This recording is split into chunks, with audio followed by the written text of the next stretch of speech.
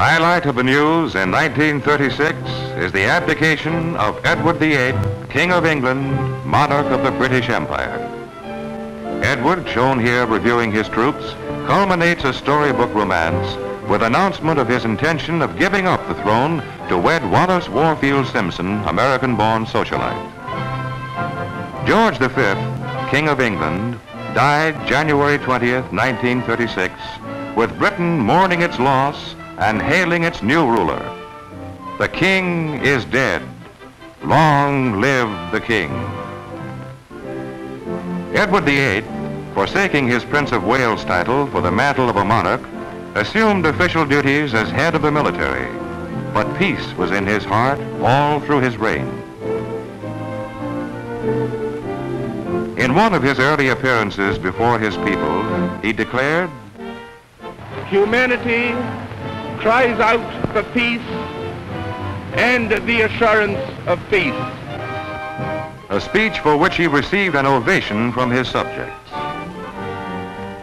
Final act before the abdication was a visit by the ruler to the people of Wales, where reports of poor conditions in the mines had been brought to his attention. And then Britain hears rumors of the abdication. Crowds wait for an announcement from the Prime Minister, making no secret of their sentiments where their king is concerned. Stanley Baldwin, Britain's Prime Minister, leaves number 10 Downing Street with official word of the abdication. The Duke of York, shown here with his wife, Princess Elizabeth and Sister Margaret Rose, is to be the new English ruler.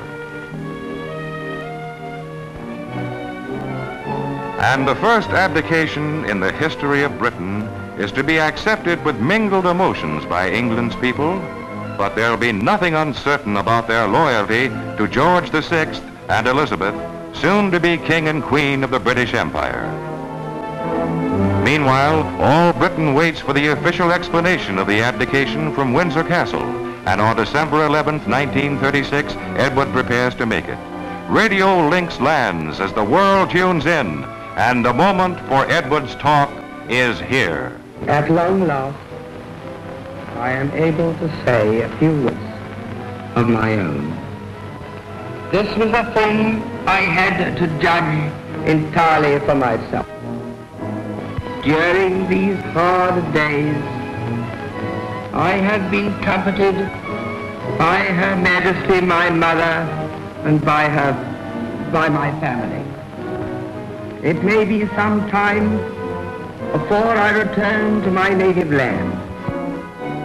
And now we all have a new king.